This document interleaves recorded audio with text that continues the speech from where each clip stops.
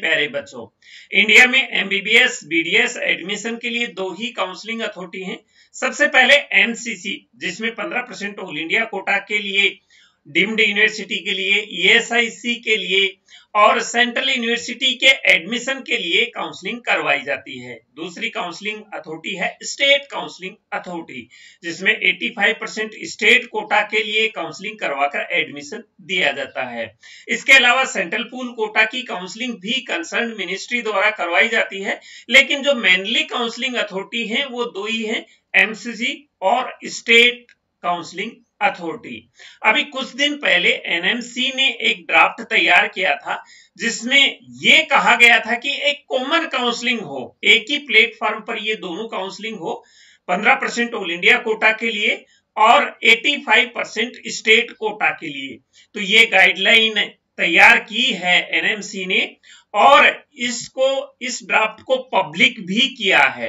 यानी ये जो ड्राफ्ट है पब्लिक के कमेंट्स के लिए इसको पब्लिक किया है और स्टेट काउंसलिंग अथॉरिटी से भी उनकी राय मांगी है कि क्या ये सही है। तो किसी किसी स्टेट्स ने इसको सही ठहराया है और किसी किसी स्टेट ने इसको उचित नहीं ठहराया, किसी स्टेट ने इसका रिप्लाई नहीं दिया। ये जो मैं आपको ये ड्राफ्ट दिखा रहा हूँ, ये एनएमसी का वही ड्राफ्ट है जिसमें पब्लिक द्वारा कमेंट्स मांगे गए थे और कॉमन काउंसलिंग के बारे में इस में कहा गया है। अब हम देख लेते हैं कि ये अगर कॉमन काउंसलिंग होती है तो स्टूडेंट को क्या फ़ायदा होगा? क्या इससे नुकसान भी हो सकता है या इससे फ़ायदा भी हो सकता है? मैं आपको बता दूँ, मैं काफ़ी समय से काउंसलिंग करवा रहा हूँ। मैं इस बात के लिए काफ़ी दिनों से सोच रहा था कि एक ऐसी काउंसलिंग हो जो एक ही प्लेटफॉर्म पर हो। यानी 15 परसेंट और 85 परसेंट स्टेट कोटा की काउंसलिंग एक ही प्लेटफॉर्म पर हो, मैं ये काफ़ी दिनों से सोचता आ रहा था। लेकिन ये अभी होने की पहल हो रही है तो मैं इससे बहुत खुश हूँ। क्यों खुश हूँ? इसका मैं आपको रीजन बताऊँगा। क्या क्या फ़ायदे होंगे स्टूडेंट्स को इससे? क्या क्या नुकसान होते हैं अलग अलग काउंसलिंग से? तो अगर ये लागू होता है तो स्टूडेंट के लिए ये बहुत ही एक खुशी की बात है, एक गुड न्यूज़ है। क्यों गुड न्यूज़ है, इसके बारे में हम चर्चा करेंगे आगे। सबसे पहले तो स्टेट्स काउंसलिंग जो होती है, वो अलग अलग इलिजिबिलिटी क्राइटेरिया में होती है अलग अलग डोमिसाइल्स रूल होते हैं। तो स्टूडेंट्स को डरने की आवश्यकता नहीं है, मैं आपको यहाँ एक प्रोसीजर बता देता हूँ कॉमन काउंसलिंग का। कि इस प्रकार से ये हो सकती है। क्योंकि इसमें 15 परसेंट ऑल इंडिया कोटा की जो काउंसलिंग होगी, उससे, उस पर कोई इफ़ेक्ट नहीं पड़ेगा, कोई नुकसान नहीं होगा इस काउंसलिंग से। और जो 85 परसेंट स्टेट कोटा की काउंसलिंग स्टेट करवाता है, अगर ये कॉमन काउंसलिंग हो तो स्टेट की काउंसलिंग में स्टेट के स्टूडेंट को भी कोई नुकसान नहीं होगा। क्यों नुकसान नहीं होगा? क्योंकि इसमें जो इलिजिबिलिटी क्राइटेरिया है, वो प्रेजेंट में हर एक स्टेट के लिए अलग अलग है तो वो यहाँ अलग अलग लागू होगा। डोमिसाइल क्राइटेरिया है, वो भी यहाँ स्टेट वाइज लागू हो जाएगा। एग्ज़ाम्पल के तौर पर मैं आपको बता देता हूँ डीयू यूनिवर्सिटी का और जिपमर का। डीयू यूनिवर्सिटी की जो काउंसलिंग होती है 85 परसेंट स्टेट कोटा के लिए, वो काउंसलिंग भी एमसीसी करवाता है। इसके अलावा जो जिपमर का इंटरनल कोटा का काउंसलिंग होता है, वो भी एमसीसी करवाता है। दोनों की इलिजिबिलिटी क्राइटेरिया अलग अलग हैं। वो दोनों अलग अलग ही फॉलो हो रहे हैं। तो जब स्टेट की काउंसलिंग होगी, एक कॉमन काउंसलिंग में 85 परसेंट सीट के लिए तो किसी भी स्टेट के कैंडिडेट को कोई नुकसान नहीं होगा।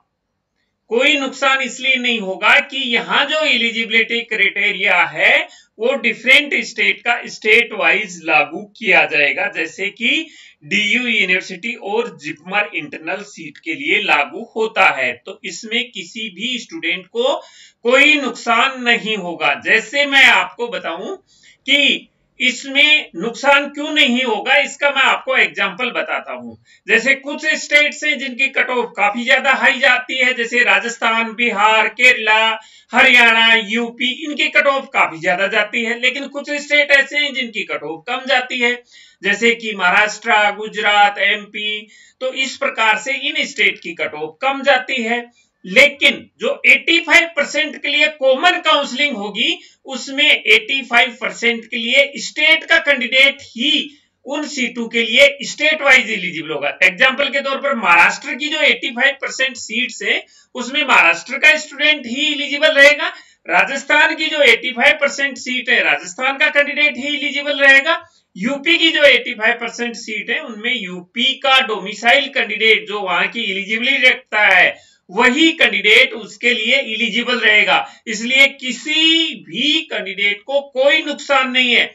ये नुकसान नहीं है क्योंकि काफ़ी सारे जो स्टेट जिनकी कट ऑफ़ कम जाती है, वो स्टूडेंट डर रहे हैं कि क्या कॉमन काउंसलिंग होगी तो हमारी भी सबके इक्वल जाएगी कट ऑफ़ ऐसा नहीं है। ये सारा 85 परसेंट स्टेट के हिसाब से ही होगा। तो आपको किसी भी स्टूडेंट को डरने की इसमें आवश्यकता नहीं है। अब इसमें फ़ायदा क्या क्या होगा, ये मैं आपको यहाँ पर बता देता हूँ।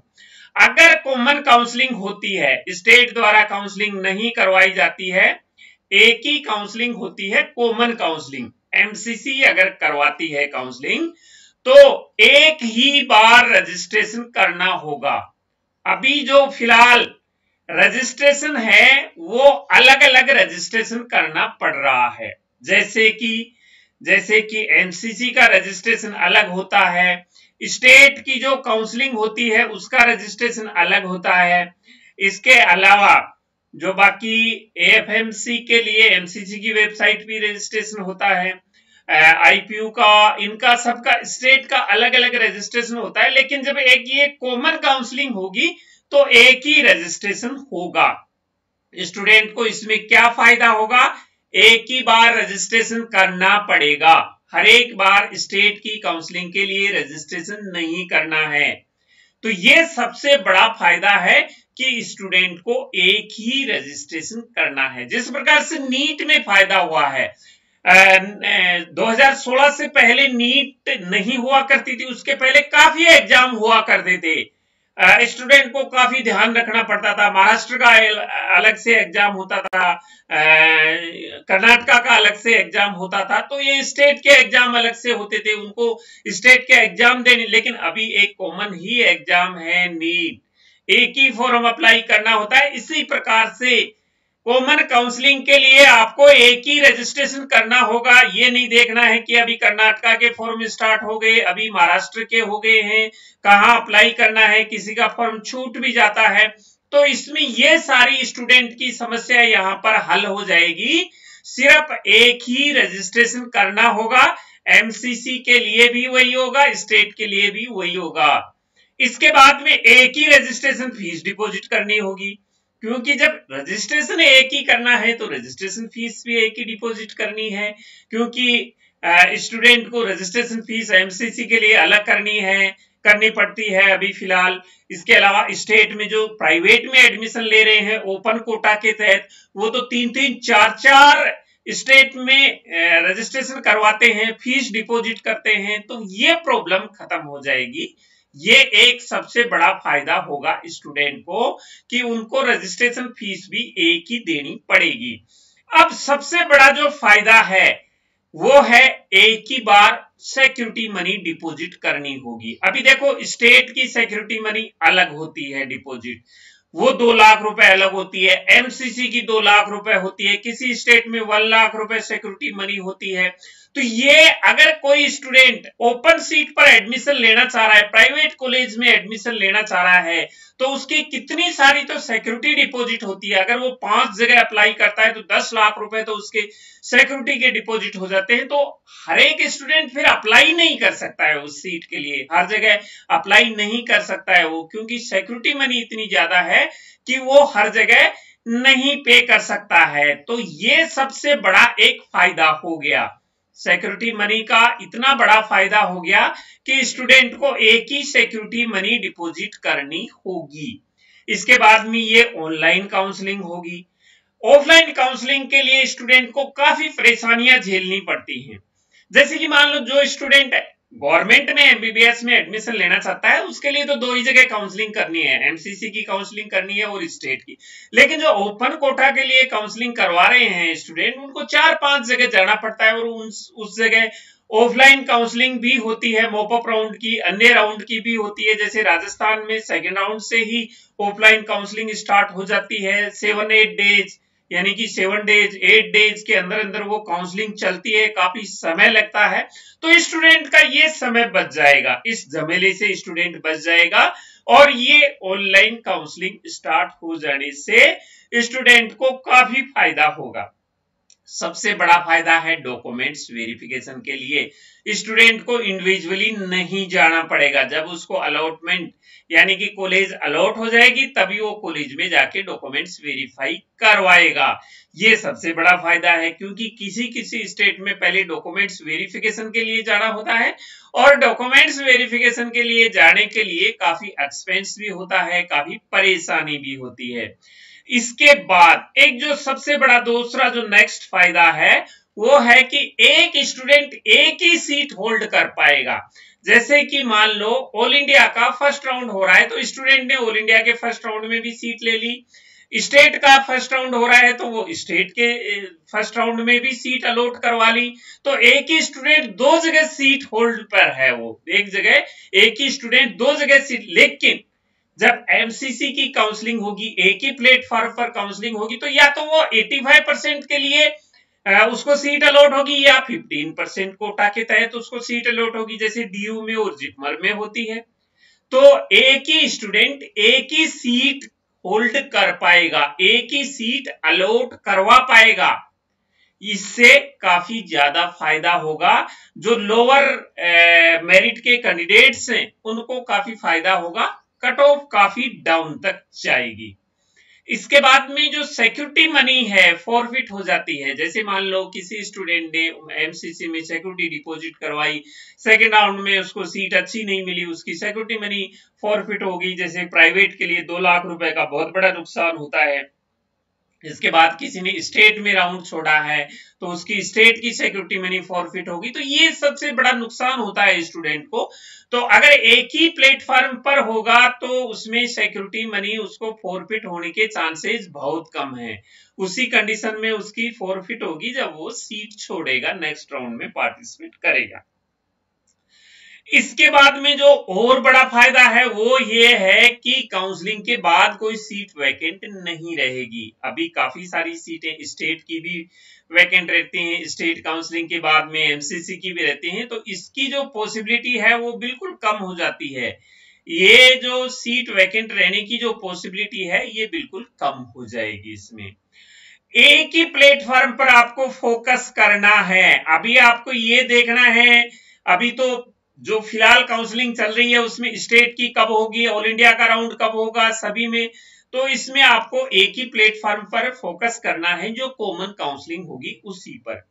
इसके बाद में, अगर इसमें आपका एडमिशन नहीं हो रहा है, सबसे बड़ी प्रॉब्लम स्टूडेंट को क्या आती है कि इसमें जो एमबीबीएस बीडीएस की काउंसलिंग चल रही होती है, इसी के दौरान ही जो अदर कोर्सेज हैं, जैसे बीएससी नर्सिंग हो गया, इसके अलावा वेटनरी हो गया आयुष हो गया, इसकी काउंसलिंग भी स्टार्ट हो जाती है। तो स्टूडेंट ये जज नहीं कर पाता कि मेरे को एमबीबीएस में सीट मिल सकती है या फिर मेरे को आयुष में लेना है या वेटनरी लेकिन अगर कॉमन काउंसलिंग होगी तो उसके एक या दो राउंड बाद ही स्टूडेंट को मालूम चल जाता है कि मेरे को सीट कहाँ मिलने वाली है? क्योंकि अभी कंफ्यूज होता है स्टूडेंट को कि उसके स्टेट में भी सीट मिल सकती है। इसलिए वो अदर कोर्सेज में इतना रिस्क नहीं ले सकता है।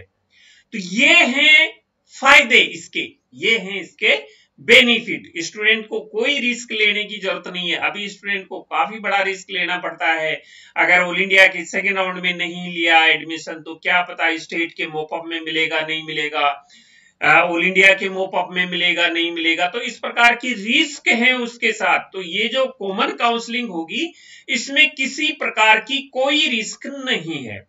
तो देखो, ये तो है इसके फ़ायदे। नुकसान मेरे को इसमें कोई नहीं लग रहा है। अगर ये सही तरीके से इंप्लीमेंट की जाए तो। हर एक स्टेट का इलिजिबिलिटी क्राइटेरिया है, वो फॉलो किया जाए। हर एक स्टेट का जो डोमिसाइल क्राइटेरिया है, वो फॉलो किया जाए स्टेट की कंडीशन फॉलो की जाए तो इसमें किसी प्रकार की कोई प्रॉब्लम नहीं है। बस ये कि यही है कि स्टूडेंट को केयरफुली ये काउंसलिंग करवानी है। तो ये मैं सोच रहा हूँ कि अगर ये होता है, ऐसा स्टेप एनएमसी द्वारा उठाया जाता है तो स्टूडेंट के हित के लिए ये बहुत ही ज़्यादा लाभदायक है। बाकी देखो, मैं आपको बता दूँ, हर एक काउंसलर का, हर एक स्टूडेंट का, हर एक पेरेंट्स का सोचने का जो दायरा होता है, वो अलग अलग होता है। मेरा सोचने का दायरा ये है कि स्टूडेंट को किसी प्रकार का कोई लॉस ना हो, उसको परेशानी ना हो, उसको जो वो डिजाइड कॉलेज चाहता है, वो कॉलेज उसको मिल जाए। इसको, इससे एक ये फ़ायदा होगा कॉमन काउंसलिंग से कि जो बाद में जैसे मोपअप वगैरह में स्टूडेंट को अच्छी सीट मिल जाती है तो सेकेंड राउंड में मिली हुई सीट वाले स्टूडेंट सोचते हैं कि काश में मोपअप में मोपअप तक रिस्क ले लेता, लेकिन सारे स्टूडेंट तो मोपअप तक रिस्क ले नहीं सकते हैं। क्या मेरे को अगर मैं स्टेट में एडमिशन ले लेता रिस्क ले लेता तो मेरे को स्टेट की अच्छी सीट मिल जाती। मेरे और उस कैंडिडेट के मार्क्स सेम है, लेकिन स्टेट में उसको अच्छी सीट मिल गई है। मैं ऑल इंडिया के सेकेंड राउंड में एक सीट जो है दूर की सीट, दूर स्टेट की सीट लेके बैठ गया। तो इस प्रकार का कोई किसी प्रकार का झमेला नहीं रहेगा, कोई पछतावा नहीं रहेगा, क्योंकि कॉमन काउंसलिंग से आपको एक अच्छी सीट मिलने की पॉसिबिलिटी बनती है। तो ये मेरा सोच है, इससे स्टूडेंट को लाभ ही होगा, कोई नुकसान नहीं होगा, क्योंकि इससे दौड़ भाग नहीं होगी और पैसे की बर्बादी नहीं होगी, आपको एक ही जगह फोकस करना है। बाकी, अगर ये जैसे ही लागू होता है, वैसे तो मैं सोचता हूँ कि इसमें काफ़ी सारा वर्कआउट करना होता है, काफ़ी सारा वर्कआउट होगा स्टेट की जो इलिजिबिलिटी क्राइटेरिया है, वो इंप्लीमेंट करने पड़ेंगे।